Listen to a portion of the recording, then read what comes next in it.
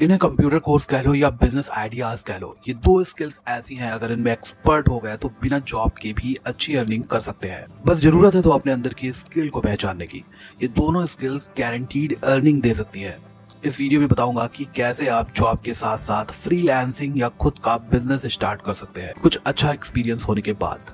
इसमें से एक स्किल इजी है और दूसरी थोड़ी सी टफ हो सकती है आपके लिए। तो बात करते हैं नंबर वन पे कंटेंट राइटर और कॉपी राइटर कंटेंट राइटिंग और कॉपी राइटिंग गर्ल्स की फेवरेट जॉब प्रोफ़ाइल है। ऐसा नहीं है कि इसमें बॉयज़ नहीं है। अगर लिखने का शौक है तो ये बेस्ट करियर ऑप्शन हो सकता है आपके लिए। आप गूगल पर मुक्ति मसीह, प्रियंका देसाई, अंशुल मोटवानी सर्च कर सकते हैं। ये इंडिया के टॉप कंटेंट कॉपी राइटर्स हैं, जो केवल कंटेंट कॉपी राइटिंग से मंथ के लाखों रुपए अर्न कर रहे हैं। इन लोगों ने Forbes times of India Dainik Bhaskar India today जैसे बड़े ब्रांड्स के लिए भी कंटेंट लिखा है। ये दो रुपए से चार रुपए पर वर्ड चार्ज करते हैं। Minimum average one thousand word का एक आर्टिकल होता है। तो अगर दो रुपए पर वर्ड भी चार्ज किए तो एक आर्टिकल का दो हज़ार रुपए मिनिमम अच्छा एक्सपीरियंस होने पर एक दिन में दो से चार आर्टिकल इजिली लिख सकते हैं।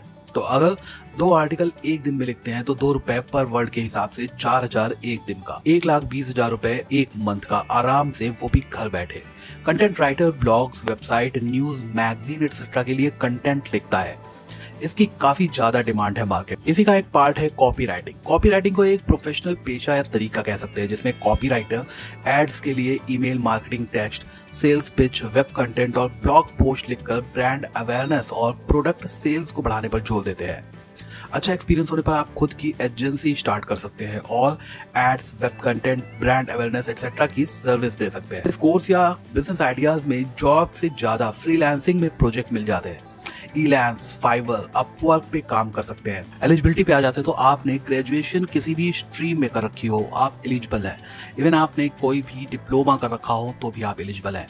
अगर आपने ट्वेल्थ कर रखी है, तब भी आप एलिजिबल है कंटेंट राइटिंग या कॉपी राइटिंग के लिए। आपकी इंग्लिश या हिंदी अच्छी होनी चाहिए। Content writer copy writer course पर आपको यूट्यूब पर फ्री ट्यूटोरियल्स इजिली मिल जाएँगे। आप यूडीमी से भी ये कोर्स कर सकते हैं। नंबर टू एप्लीकेशन और game development Dream Eleven MPL games 24 WinZO games to win इन सब एप्लीकेशन या गेम्स के नाम आपने ज़रूर सुने होंगे।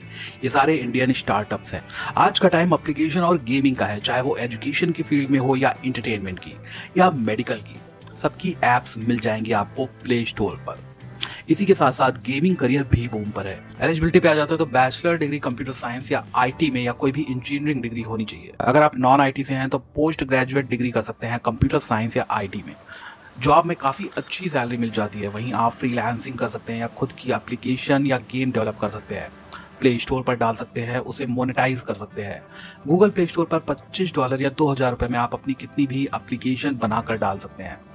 और इन एप्लीकेशन पर एड से पैसे अर्न कर सकते हैं। वहीं आप Upwork Fiverr Guru dot com Elance dot com जैसे फ्रीलांसिंग वेबसाइट से बहुत सारे प्रोजेक्ट भी उठा सकते हैं। अच्छा एक्सपीरियंस होने पर आप खुद की गेम डेवलपमेंट या ऐप डेवलपमेंट कंपनी या स्टार्टअप शुरू कर सकते हैं।